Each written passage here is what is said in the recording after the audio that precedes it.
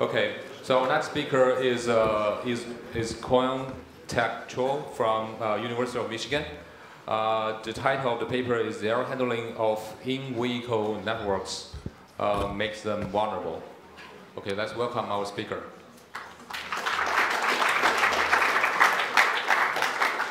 Okay, uh, thank you all for attending the talk. Um, today I'll be talking about error, error handling of in-vehicle networks, making them vulnerable. Uh, my name is Kyung-Tak Cho, and this work has been done with my advisor Kang Shin from the University of Michigan. So before going into the details about the attack that we have proposed in this paper, uh, we'd like to provide some background on automotive security. Uh, as many of you may know, uh, vehicles were composed of mechanical parts, but now they are being replaced with um, electronic parts. On top of that, uh, wireless connectivities are added onto uh, those vehicles. Uh, of course, these have uh, provided efficiency and controllability, but at the same time, they've also opened up remote access points for um, attackers to actually access the in-vehicle network and even control the vehicle itself. Of course, this is a security risk. So there were a lot of attacks that have been demonstrated out there uh, by a lot of researchers. And to defend against these attacks, um, there have been mainly two uh, streams of defenses. So uh, first is the authentication method. So they are trying to uh, add message authentication codes to in-vehicle network messages, use those for the purpose of authentication. And the other way would be just installing an intrusion detection system and trying to see whether there are any intrusions in the in-vehicle network or not.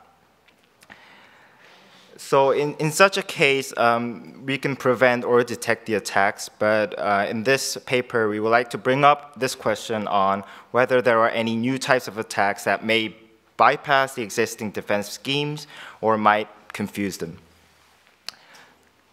So in CAN, which is the de facto standard for in-vehicle networks, um, ECUs, which are basically just computers in your cars controlling, controlling them, they uh, broadcast messages periodically, which contain information about their sensors, such as um, wheel speed, uh, uh, steering angle, and so forth. And each ECUs, when they uh, transmit their data, they actually monitor whether the transmit bit is actually same to the one that is reflected on the bus. So they verify this whenever they transmit the message. And if it's not the same, they, uh, it is specified in the CAN protocol to incur something called a bit error. A bit error does not occur in a stage called arbitration, which we detail later. But if this uh, error actually incurs, uh, two of their error counters actually are adjust, adjusted. So they have two error counters, uh, such as uh, transmit error count and receive error count. So what these error counters do for uh, each ECUs or their CAN controllers, uh, if during tra transmission or reception of a message, uh, if they experience an error, the transmit error count is increased by eight. Whereas uh, during reception, if an error occurs, um, the error counter is only increased by one. On the other hand, uh, if the ECU succeeds in sending their message or receiving their message, their transmit error count TC or the receive error count REC are decreased by one. So with these two error counts, they manage their error states. So first, every ECU in the in-vehicle network starts in their default mode as an error active. If either of those error counts exceed a value of 127 because of continuous uh, errors, they enter a state called error passive. Otherwise, uh, if they succeed in transmissions or receptions, and if uh, those two error counts are lower than 127, they go back to their default mode of error active. However, uh, if those ECUs keep on incurring problems on the in-vehicle network, that is incurring bit errors by themselves, um, their TEC actually, if they exceed 21, uh, 255, uh, the ECU gets discon uh, disconnected from the bus. Or even uh, it is said that some vehicle manufacturers design their ECUs so that whenever even one ECU enters this bus off state, the whole vehicle is just shut down. So they can, of course, recover back to their default uh, state code uh, to error active either automatically or manually. But this really depends on how the vehicle manufacturers design their software. So um, in this paper, uh, we're actually using this error handling scheme as an attack vector. So error handling scheme has been very promising, very powerful in providing fault tolerance and reliability in in-vehicle communications for many years. But if you look in terms, uh, in the view of an attacker, actually the attacker can use this error handling scheme in order to shut down an uncompromised and or some any un, uh, any healthy in-vehicle ECU. So that is our objective, and we call that attack boss-off attack. The required, um, required capabilities for the attackers are it has to inject the message, but also sniff messages in order to see what messages that it can target. But of course, because CAN uh, networks is basically a broadcast bus, once compromised, you can read off any message from your in-vehicle network previous attacks actually had some requirements in trying to, uh, in reverse engineering messages or their checksums. That is, they had to understand what this message ID meant and use those in actually controlling the vehicle. Or they had to understand how the checksums are implemented. However, in this attack, because we're proposing some kind of a DDoS attack, uh, they, uh, this boss-off attack doesn't require those things, which obviously is less painstaking and also it lowers the technical barrier of the attacker in mounting this. So what the attacker does, it injects the message at the right timing with a very well-crafted message. And if it matches that timing, the actual transmit error count of the victim increases. So that means what if you have just one compromised ECU, you can shut down any ECU on your bus by just performing this attack. If it iterates that, that victim ECU's error count would eventually go over the limit of 255 and enter the bus off state. So we'll look in a bit more detail on how this is performed. Um, usually in the arbitration phase that I mentioned before, uh, this phase is for resolving contention. So say if node A and B um, had to say, send a message at the same time. Um, during that uh, phase, whenever a node sees an opposite bit on the bus uh, compared to what it had transmit, it acknowledges that someone else who has higher priority is sending on the bus. So what it does, it, after it loses arbitration, it switches to receive mode and just lets the high priority message be sent on the bus. On the other hand, in this boss-off attack, what the attacker does is it tries to inject its message with the same ID as the victims.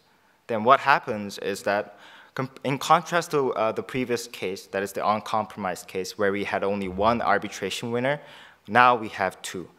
So after that, what the adversary also uh, does is it crafts its message in, or, uh, in order to make a collision in the victim side. So if, say, example, in the control field, uh, if it puts all zeros in it, then the victim would see an opposite bit on the bus, and because it's after the average arbitration phase, it would experience a bit error. So in, accordingly, the transmit error count of the victim is increased by eight. And if the adversary iterates this process, it can actually make the uh, victim ECU think that it is erroneous, whereas it is actually under attack. Because normally uh, transmit error counts only are increased when they are in an erroneous state. So eventually, the adversary can force that victim to enter the boss-off state and then shut down that ECU, or as I said, depending on the vehicle, you can shut down the whole network suddenly. So looking at uh, the looking at the boss-off attack in two different phases. In phase one, as I said, um, with the same uh, transmission timing and well-crafted message, it can incur a bit error at the victim side. But looking in more detail at what, what actually happens in such a case, the victims transmit something called an error flag. And if it's in an error active mode, it sends an error flag of uh, six zeros. So in this case, the adversary also experiences uh, bit error or stuff error, which I didn't really detail. And it also increases its TEC by 8. So here you can see that uh, the adversary and the victim both has a TEC of 8. But the interesting thing here is that CAN controllers are designed to actually retransmit their error, error experience message as soon as the bus becomes idle. So you can see that they do the same thing again. So on and on, what, what this controller does for the attacker is the attacker just injects one message, but in fact, it goes up to 128 suddenly because the CAN controller is doing every retransmission automatically as specified. And in the next phase, it becomes a bit, little bit different from the previous one. So because both nodes have TC of 128, they are both in error passive mode, not error active mode. So in such a case, what, what, what is different is that um, error passive uh, nodes actually transmit an error flag, but in a different way of having passive flags. So that's six ones. In such a case, uh, this doesn't really incur bit errors on the bus, so which makes the adversary succeed in its transmission. And after that, that is only when the victim actually succeeds in its transmission. And one interesting thing here also to capture is that even though um, the adversary has recovered back to its initial state of error active, the victim has uh, is still remained in error passive. The reason being, CAN is designed to increase its error when it uh, error count when it has error by eight, but if it's error free, decrease only by one. So we have a net increase of plus 7 on the victim side. The attacker can iterate this process and then keep on increasing the victim's uh, transmit error count, eventually shutting that node down. Another interesting thing that I would like to um, capture here is that people are trying to uh, ins like install message and authentication codes or use checksums for some reliability or security. But uh, all of this error occurrence is done during transmission or reception, which means even before some node tries to verify their MAC or tries to verify their checksum, the errors are incurred and the attacker can succeed in this attack no matter what. So there are three important things that needs to be satisfied in order to achieve this boss-off attack. First, as I said, it has to have the same ID. Also, it has the content should be well crafted to have uh, one bit that is zero, whereas the victim is one, and all precedence bits being equivalent. And finally, and most importantly, there should be a synchronization between the transmission timing of the victims and also the adversaries. So if the attacker satisfies all three of these factors, then it can succeed in boss-off attack. We'll first talk about the two that is pretty much easy for the attacker to achieve. For achieving um, the first condition of having the same ID, as I have said, because CAN is a broadcast bus, it can just monitor the bus, look at the IDs that it would like to target, and just use that ID when it injects its message. The next is um, having different contents. So as I said, Although all the preceding bits should be the same, only one bit of the adversary should be zero, whereas the victim should be one. The most easiest way to achieve this is having a data length code of zero. Data length code um, defines what length this message has. So normally in vehicles, this DLC is a has a value larger than zero. But if the attacker just writes that DLC part with all zeros, then it can definitely um, satisfy the second condition. The last condition of synchronizing the transmissions um, between the attacker and the victim is the most difficult part. So if it is synchronized, uh, the attacker can actually incur transmit error on the victim side. But otherwise, if it's not synchronized, uh, because the bus is busy when the attacker is trying to transmit its message, because of how CAM works, it gets delayed afterwards until the actual uh, victim finishes its uh, transmission and the bus becomes idle again. So the question would be how to synchronize the transmission timing between the attacker and the victim. One can think of a way of exploiting periodicities. So because in vehicle networks, um, messages are sent periodically, say, for example, every 10 milliseconds, uh, the, uh, the attacker can observe, um, say, message ID 0x01 is sent every 10 milliseconds. We should send it after uh, 10 milliseconds after we receive that. But the problem is there are jitters in how um, the timing of their injection. So this makes it quite unpredictable on when it would be sent. And also, because the synchronization requires a one-bit resolution, which is, say, for in normal vehicles, it's a two microsecond uh, time, it's very hard to achieve it in this way. So what we proposed in this paper is to use something called preceded ID.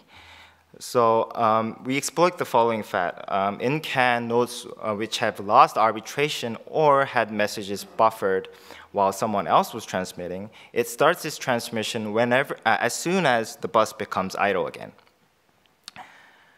So what exactly is preceded ID? So I'll give you an example here. Um, first, say node A has a message M1 uh, buffered in it, and it can immediately transmit it because the bus is idle. But say M2 and M3 is also buffered in node A and B at a similar timing. That is while M1 is being transmitted on the bus. In such a case, both will try, uh, contend to each other to transmit on the bus, but if the priority of M1 is high, uh, M2 is higher than M3, uh, node B loses arbitration and it has to wait another round. So M2 is sent and then finally node B can transmit its message. And you can see here that um, although the messages were uh, injected at some, some kind of random timing, it becomes a kind of a bit more determinative. That is, after the IFS, that is into frame space, the message always comes after some message. So we define preceded ID of message M as uh, the ID of message that has completed its uh, transmission right before the start of M. So in this case, um, M1 would be the preceded ID of M2, and M2 would be the preceded ID of M3. So how can the attacker exploit such uh, preceded ID? For the same example here, um, the, what the adversary can do is that if it analyzes the network traffic, it will have some idea that M3 would always come after M2, and also M2 is always coming after M1. So once seeing M1 or M2, it can inject its message and synchronize the timing with the victims and incur the bit error at the victim side. So learning preceded ID is essential and also the existence of it. And also because the timing is pretty determinative, it, this, uh, the success accuracy is pretty high for this case. So the next question that we answered was, how many preceded IDs do we have in real vehicles? Or can we fabricate them so that the attacker can easily delay messages of the victims and synchronize its timing? So we actually analyzed the CAN bus log data um, that was provided by University of Tulsa. They logged uh, the 2010 Toyota Camry CAN bus for, during a 30-minute drive. And what was interesting to see in real cars was that for certain messages, uh, they ha always had a unique preceded ID to it. The reason being this is that um, vehicle manufacturers uh, tend to uh, schedule their messages to send, say, two messages at the same time. For example, if you want to send your uh, rear uh, wheel speed and also your front wheel speed, those are composed into two different messages, but the same ECU sends it at the same time, which means one of those messages is always the preceded ID of the other. Another interesting thing that we found out is that we can extract some patterns in these preceded IDs. So for this uh, message 223, for, the, for every 2 nth transmission of 223, the preceded ID message of this was 23. So for every second message of it, we can look at the, uh, its preceded ID and try to synchronize the transmission timing. Another question is, can the attacker actually fabricate this? That is, because the attacker actually has a rough estimation on when the victim will transmit its next message, although not really exactly, what it can do is right before that timing, it can inject a fabricated preceded ID message, make the victim's message get delayed because the bus will be busy, and then synchronize its timing. We also uh, analyze the feasibility of such an attack in, uh, in such a way in terms of three different factors, timing, quantity, and contents. Although we do not really go into detail, it uh, showed that with just one fabricated preceded ID message, the attacker can achieve the bus-off attack. So we did evaluations in two different settings. First, we had a CAN node prototype. The CAN node prototype consists of CAN nodes um, which has a CAN shield that provides a CAN uh, protocol, and also an Arduino Uno that is a microcontroller. The other was uh, we ex examined this BOSOF attack in two different vehicles, a 2013 Honda Accord and a 2016 uh, Hyundai Sonata. So this is how the, our prototype looked like. We programmed each as a victim, adversary, and a non-victim to monitor how uh, the messages were sent. So this is the interesting uh, part for this attack. As I had discussed in phase one, uh, with just one attack message from the attacker, both of the victims and the adversary's transmit error count soars up to 128. Within, for this case, it was just achieved within two milliseconds.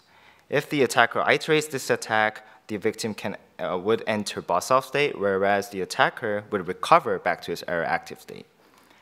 Looking closely, we we found out exactly what we had expected. We saw that there was a plus 8 increase, but also a minus 1 decrease right after that. But, all, but still, there was a uh, plus 7 increase, so the victim was eventually entering the BOSOF state.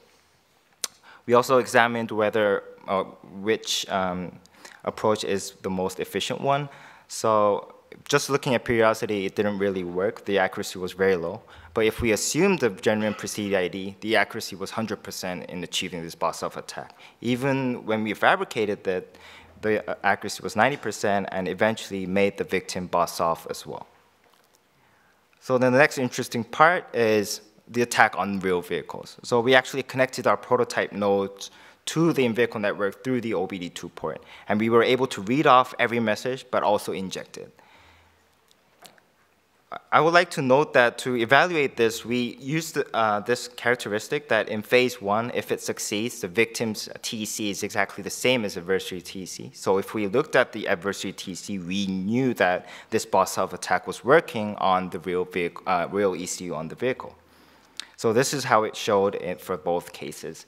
So in both cars, we found, we found out with a high accuracy that the in-vehicle ECU was actually uh, suffering from this BOSOF attack, and we also some, saw some warning lamps after we iterated this, but we didn't have a way to show that, so we actually evaluated in such a way.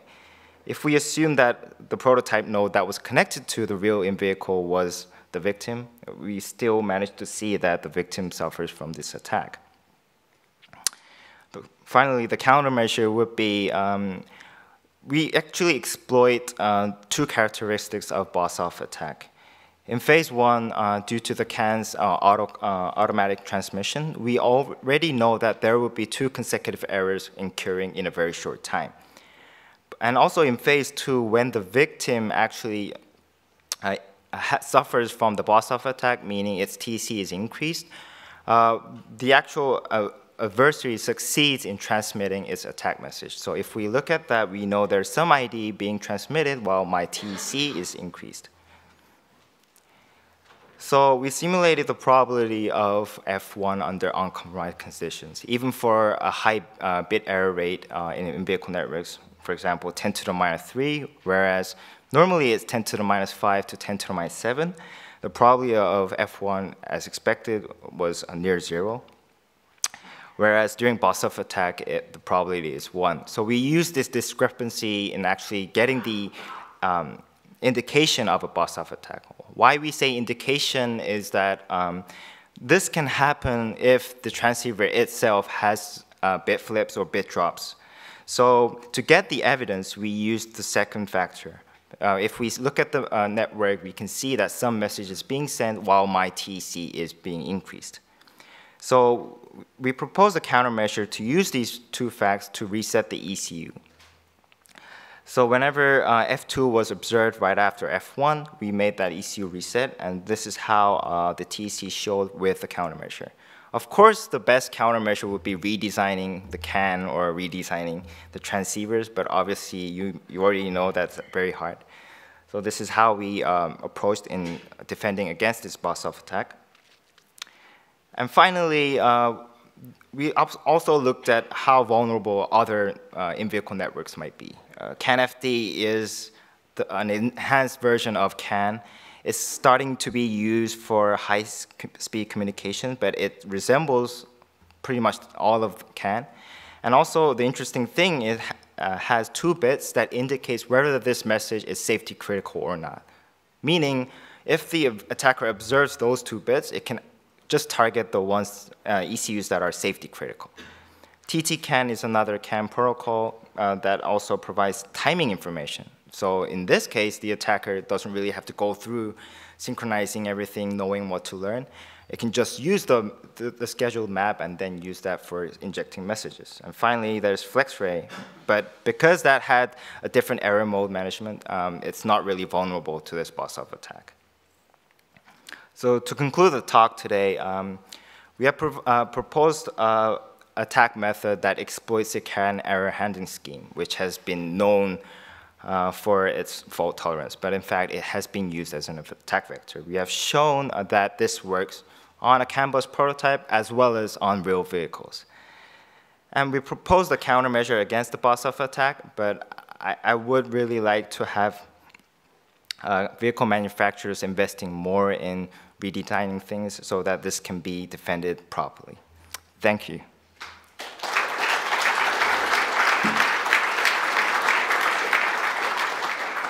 Thank you, very impressive talk. Any questions from the audience?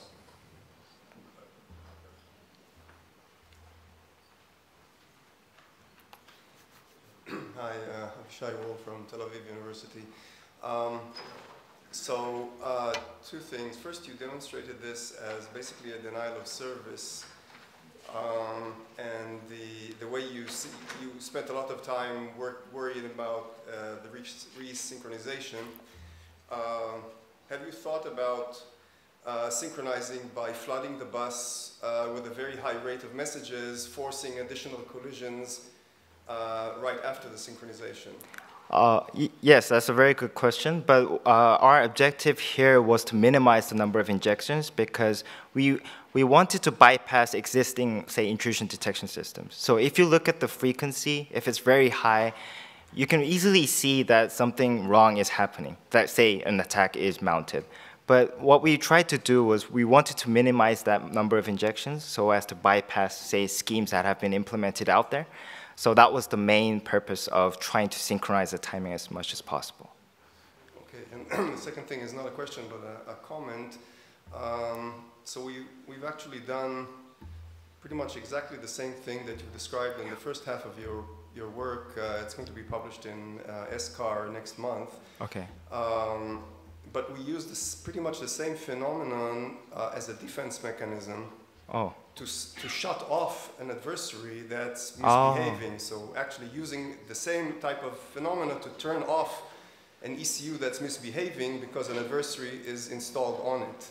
Oh yeah, that's a very interesting aspect. So yes, that's right. We could talk about this later. Sure, sure, sure. Thank you. So Paulo Verissimo, University of Luxembourg. I mean, this was a great talk, very clear. Thank you. Um, my doubt is the following. Uh, if am I right in assuming your threat model is that you can put a rogue ECU into the car because that's, that's your device? A rogue ECU. So, an ECU that you made yourself, an external ECU. That's your threat model, right? Um, actually, all of the uh, remote exploits, remote exploits can lead to message injection capability for the attacker. So in this case, um, as I said, all the attacker has to do is just be capable of injecting and reading off, which can be also done remotely as well. So right, but then, you know, let me ask you this. Uh, I, if I, correct me if I'm wrong, you know, some of the stuff you presented implies violations of the protocol. True, right? true. So you cannot just, you know, take over an ECU and change the VLSI of uh, the CAN control. So, actually every why we did this with an Arduino and with a CAN shield is that we just wanted to uh, read, uh, just program the software, and everything was done according to the CAN protocol. So say if we just schedule the message to be injected at some timing, that's all we did. But every transmission, say in the uh, layer two or layer one, which is defined as CAN, everything was according to the CAN's protocol. So we're actually following the protocol. All we're doing is just injecting right, so the right that message. leads me to my key question, which is, um, you can, you could, I mean, it's related to the question of the first, uh, the colleague, you could really play babbling idiot mm. and really, you know, just transmit you know, and shut the whole thing down, which is unavoidable on a bus. So why go to all that trouble? So, uh, as I have said, um, existing IDSs and defense schemes, But you stop the bus, so you know the IDS. you stop the IDS also. I mean, you stop the bus, you flood the bus, so nothing works. The car stops. sure, sure, Why but go to a more sophisticated attack if you can do the same thing with a very simple attack, which is babbling idiot? so with the babbling idiot, you would have tons of messages being flooded on the in-vehicle network, as I, as I answered to the previous question. And then you stop, the car stops. That's right, but for existing schemes, they try to prevent that or detect that by just looking at that high frequency. But if we remain in the scope of that normal frequency, then we can achieve this, even though those prevention schemes or detection schemes are there. Yeah, but, but you see, uh, I'm sure you're aware, previous projects, you know, earlier on, they have, you know, you know, TTP, TTA for time trigger systems, CANELy for CAN, they dealt with that. So, but that was accidental. So, the- i- i- you know, they have counter babbling idiot uh, devices which really detect the misbehavior, but it's accidental. So they can, oh, it's this guy, is not behaving well. Yeah, it, it will shut it down because it's in the circuitry. Here we're talking about an attacker, a malicious attacker, who took control of an ECU. You see, so nothing can be done in a bus. So I agree with you, something must change in the, in the bus architectures. Yeah. But I think that there are no countermeasures possible. If, if, if you take over an ECU and can actually reprogram stuff that makes, you know, the bus go down, then, you know, it's all it takes. I, I, you see, the point is, is, is that your trick is really neat, but with that threat model, I mean, if, if now we think of a weaker threat model where you can take over an ECU, where you cannot modify things but could do something stealthy, that I would believe you. But it seems to me that with your threat model, you might as well flood the bus and that's it. But anyway, this is very interesting, okay? All right, thank you. Okay, let's take a break. Thank you very much. Let's uh, thank all the three speakers and conclude the session today.